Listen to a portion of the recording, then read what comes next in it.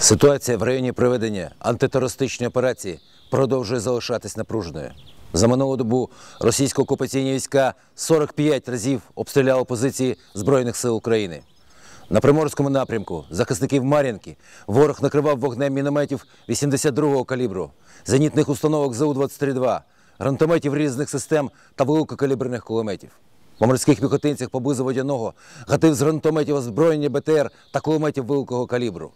Оборонців Новотроїцького провокував турбуючим вогнем з протитанкових гранатометів.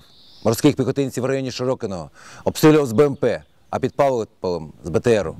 По опорних пунктах в районі Брезово відкривав вогонь з крупнокаліберних кулеметів та стрілецької зброї. Ворожі снайпери активно діяли поблизу Водяного, Новотроїцького, Мар'їнки та Красногорівки. На Донецькому напрямку з мінометів 120-го та 82-го калібру озброєння БМП накривав вогнем наших воїнів підопитним. По захисниках Авдіївки гатив з міномету калібру 82 мм, гранатометів різних систем, зенітної установки ЗУ-23-2 та великокаліберних кулеметів. Позиції в районі Верхньоторецького обстріляв з мінометів калібру 82 мм та протитанкових гранатометів, а по оборонцям Луганського бив зенітної установки ЗУ-23-2 та озброєння БМП.